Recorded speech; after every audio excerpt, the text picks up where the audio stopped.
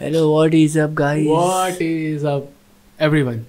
Welcome back to another broadcast from the Do's React Room. मेरा नाम है शहजाद और मेरा नाम है हमजा और we are back with another video और आज हम जिस मूवी के ट्रेलर का रिएक्शन करने वाले हैं वो तो ब्लॉकबस्टर मूवी है हाँ, और वो जो बंदा है जो वो मूवीज़ बनाता है can be considered a genius in film making is considered a genius मतलब टॉपिक जिस तरीके से वो उसके जो टॉपिक है उसका जो डायरेक्शन स्टाइल है और उसकी जो यूनिकनेस है उसमें आप मूवीज़ देख के दिमाग भी लगाना पड़ता है कि यार इस बंदे ने कर क्या दिया है। इतनी आसान नहीं होता उसकी मूवीज़ को जो है ना समझना। तो वो बंदा है Christopher Nolan mister Christopher Nolan जिन्होंने डार्क नाइट ट्रिलॉजी बनाई जिन्होंने इंसेप्शन बनाई जिन्होंने टेनेट बनाई।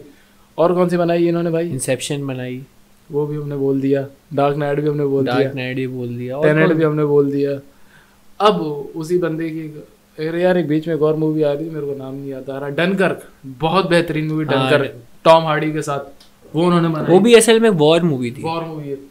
ये ये बंदा भाई कोई भी टॉपिक उठा ले कोई भी जानवर उठा ले एक्शन उठा ले मिथोलॉजी मिथोलॉजिकल उठा ले super hero super hero movie उठा ले या साइंस फिक्शन उठा लो उसमें ऐसा काम करता है ना ऐसा काम करता है कि दुनिया दिमाग खराब हो जाता मतलब मैंने टैलेंट देखा तो मुझे समझ नहीं आ रही थी कि हुआ कि मेरे को दो तीन बार टैलेंट देख के समझना पड़ा कि यार अच्छा वो जो जो हो रहा है वो पहले से हो चुका है और जो होने वाला है उसको रोकने के लिए वो बंदा वहाँ गया जो पहले से हो चुका है।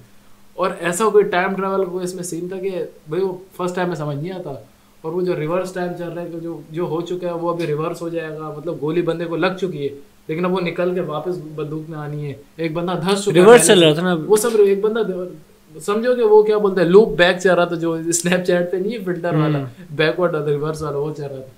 तो खैर इस बंदे की एक और मूवी आ रही है जिसका नाम है ओपेनहाइमर और जिसकी कास्ट बहुत बड़ी है। इसकी कास्ट में सिलियन मर्फी है हमारा पीकी ब्लैंडर वाला इसमें रॉबर्ट डाउनी जूनियर है और इसमें और भी बहुत बड़ी कास्ट बड़े एमिली ब्लंट है इसमें। तो हम देखते हैं क्योंकि इसकी तारीफें बहुत हो रही है।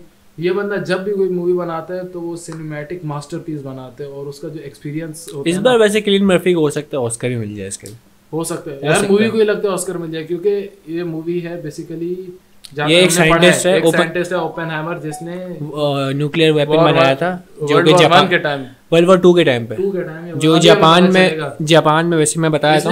बेसिकली स्टार्ट किया था एक कॉन्सेप्ट लाया था न्यूक्लियर बॉम्ब का एटॉमिक बॉम्ब का। हम्म। उसके बाद लोगों के लोगों को पता चला कि यार एक ऐसा बॉम्ब भी बन सकता है जो पूरी पूरी नस्लें उड़ा सकता है पूरा पूरा मुल्क सफेदस्ती से मिटा सकता है। तो ये बंदा वो था।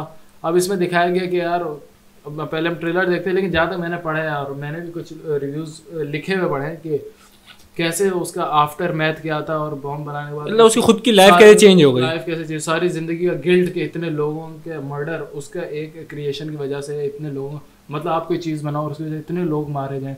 तो सोचो आप उसके अच्छा वैसे वैसे साइंटिस्ट को हिपोक्रेट भी काफ़ी लोग कहते हैं क्योंकि मतलब ऑब्वियसली अब आप एक वेपन बना रहे हो तो यूज़ तो होगा ना तो तो मतलब ऐसी बात नहीं उनको पता ही नहीं था ये बोलते हो कि मैं for the betterment of man आप बना रहे mass mass destruction war weapon बना रहे हो लेकिन आप बोल रहे हो फॉर द बेटरमेंट ऑफ़ कुछ लोग इनको पसंद वैसे कुछ लोग पसंद नहीं करते इनको। चले फ़िलहाल हम चर्चा हमने बहुत कर ली ठीक है बातें तो बहुत कर ली पहले हम मूवी का ट्रेलर देखते हैं रिएक्ट उसके बाद हम देखेंगे मूवी कैसी बनाई है स्टोरी तो हमें पता है ठीक है। two, three, two, one, go.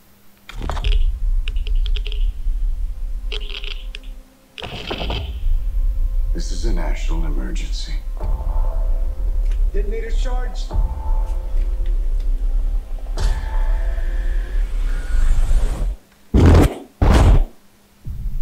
Sound देखो सबसे बेस्ट तो मैं भूल ही गया इंटरस्टेलर इसकी इंटरस्टेलर का हमने ज़िक्र नहीं किया यार वो मूवी तो नहीं ज़िक्र कर दिया था इंटरस्टेलर का नहीं इंसेप्शन का बोला इंटरस्टेलर किसी ने नहीं देखी तो जाके इंटरस्टेलर मूवी देखो और बड़ी स्क्रीन जो पे ब्लैक होल पे जो उन्होंने बनाई है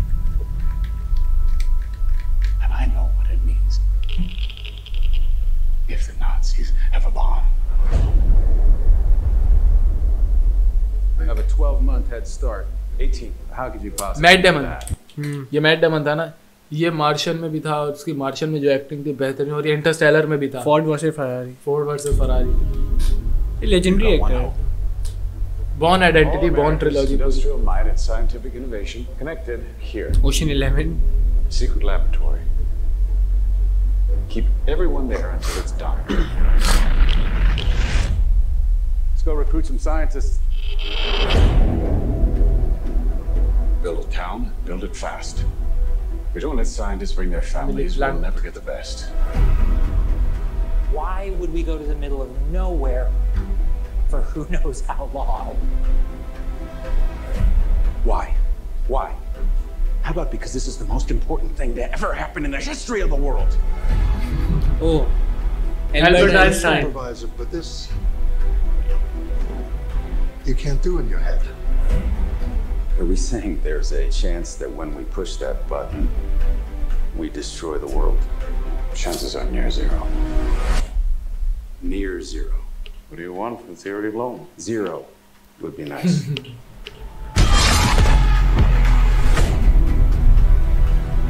This is a matter of life and death. But I can perform this miracle. World War II would be over. Our boys would come home That's happening, isn't it? World ये the boys वाला था the boys for this day. Huey नाम था dewy dewy Huey नाम था Dewey Our work here Dewey पता नहीं Dewey will You ensure a peace mankind has never seen.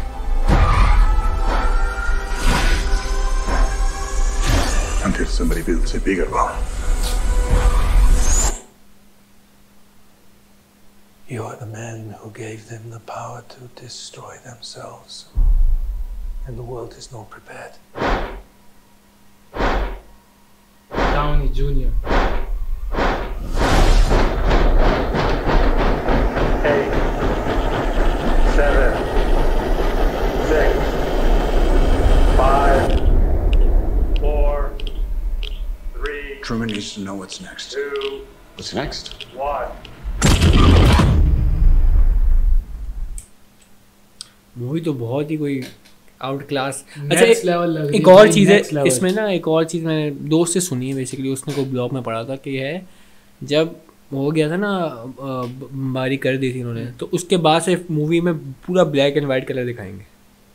हाँ तो आफ्टर इफ़ेक्ट आफ्टर हो सकता है कि जब बॉम्ब फट चुका है तो उसके बाद उस- लोगों की लोगों की लाइफ जो है ब्लैक एंड व्हाइट हो गई तो इस, इस वजह से शायद मूवी का जो है थीम भी ब्लैक एंड व्हाइट हो जाए। तो मतलब ये बहुत बारीकी होती है जो सिर्फ़ नोलन साहब समझते वही हैं ना और सिर्फ़ नोलन छोटी सी छोटी चीज़ मायने रखती है ये बात है। और इस मूवी का जो स्क्रीन प्ले है और जो विजुअल्स थे वो इतने एंगेजिंग थे और साथ मतलब मेरी खुद की नज़र हट नहीं रही थी ऐसी एक टेंशन मेरे पीछे टिक टिक टिक टिक चल रही थी तो एक ऐसी टेंशन बनी हुई थी कुछ कुछ बड़ा होने लगा कुछ बड़ा होने लगा तो ये चीज़ जो है ना ये सिर्फ़ नोलन साहब जो है ना गेज कर अच्छा पाते हैं। लिखी भी उसने और वो डायरेक्ट भी उसने की। लिखना तो क्या है जो मतलब रिटन फॉर द स्क्रीन है। डायरेक्टेड डायरेक्टेड तो खैर। मेन ये मैं वही बोलूँ, लिखना तो क्या वो तो- मेन है ना डायरेक्टेड ये है क्रिस्टोफर नोलन और बहुत चांसेस हैं इसके कि बहुत आगे जाएगी मूवी अच्छा ये बात है कि ये इस मूवी में कोई इतना दिमाग नहीं लगाना पड़ेगा जहाँ तक ट्रेलर देख के लगा रहा है वैसी। स्टोरी थोड़ी सी सिंपल है। अब अच्छा अब ये देखो सिंपल स्टोरी है ठीक है लेकिन इसको डायरेक्शन इसकी इसका स्क्रीन प्ले इसके सिनेमैटिक शॉट्स विजुअल्स और एक्टर्स की एक्टिंग ये अब ये सारा जो है ना इस मूवी में इतना जान डाल देगा इतना जान डाल देगा कि मूवी को नेक्स्ट लेवल मतलब ले नो- जाएगा। ने कोशिश की जितना से जितना कम वीएफएक्स यूज़ हो ना। हाँ क्योंकि मैं एक जगह देख रहा था कि इन्होंने जो है ना वो ऑलमोस्ट एक प्रोटोटाइप बनाया बॉम्ब ताकि ये अपना एक, एक वो जो है परमिशन इनको मिली नहीं मेरे ख्याल से लेकिन नहीं नहीं मिली है शायद। इन्होंने वो ब्लास्ट भी क्रिएट किया क्योंकि इनको सीजीआई वाला ब्लास्ट ही नहीं चाहिए भाई को। भाई को चाहिए रियल ब्लास्ट रियल गंदा वाला ब्लास्ट ताकि उसको शॉट भी किए। फिर इन्होंने अपने लिए जो कोडक से एक स्पेशल किस्म का कैमरा बनवाया पता नहीं कितने वो रिम्स वाला जिससे वो ये वाला जो है ना शॉट कैप्चर करेंगे। तो ये होती है डेडिकेशन ये होते हैं वो वो जगह जहाँ पे आपको मेहनत करनी चाहिए और ये वो चीज़ें होती है जो आपकी मूवी को स्क्रैच से उठा के ज़मीन पे ले जाती हैं। और इस बंदे का नाम ही अगर किसी मूवी के साथ जुड़ जाए ना तो उस मूवी का लेवल ही बदल जाता है। ये वो बंदा है। मुझे लगता है आज तक अभी इसने फ्लॉप भी कोई दी हो। हाँ अभी तक की कोई फ्लॉप इसकी मुझे नहीं याद आई हो और कोई मूवी इसकी जो क्रिटिक्स ने जो है ना जिसको बैड कहा हो। क्रिटिक्स को खुद समझ नहीं आता। क्रिटिक्स को समझ ही नहीं आती बनाएँगे उस पर रिव्यू क्या ही करेंगे। तो खैर मैं इसके लिए बहुत एक्साइटेड हूँ और ये इन्होंने कब आ रही है इन्होंने release release date What's next? One. नहीं यहाँ है नहीं। खैर वो डिले हो इंटरनेट से मिल जाएगी। डिले हो गई थी लेकिन ये मूवी अभी भी। हो सकता है।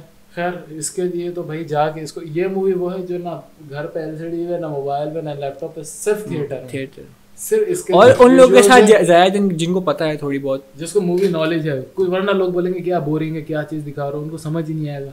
तो जो मूवी मूवी गोवर्स हैं जिनको मूवी देखना जो मूवी हॉल का उनको साथ लेके जाएँ और उनके साथ। ये मूवी आपको जो है ना आपका टाइम नहीं ज़ाया करेगी। ये मूवी ऐसी कि ये चार घंटे की भी हम्म। भले आप हज़ार रुपए खर्च करो या एक मिनट भी बारह सौ रुपए। हाँ, बोरियत में नहीं जाएगा। आपके सारे पैसे वसूल हो जाएँगे।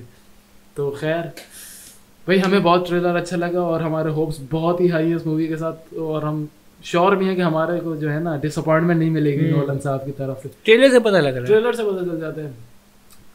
खैर आप लोग बताओ कि आप लोगों ने अगर ट्रेलर देखा तो आप लोगों को ट्रेलर कैसा लगा और हमारा रिएक्शन कैसा लगा? अच्छा लगा तो हमारे चैनल को सब्सक्राइब करो नहीं अच्छा लगा तो भी सब्सक्राइब करो क्योंकि आने वाली वीडियोस आपको अच्छी लगेंगी ठीक है? और हमारे चैनल को लाइक शेयर कमेंट करो ठीक है? और मिलते हैं आपसे नेक्स्ट वीडियो में। Bye bye